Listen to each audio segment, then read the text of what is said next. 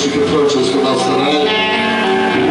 Along with shirts, tickets for Rexall shows, you should just buy them because they're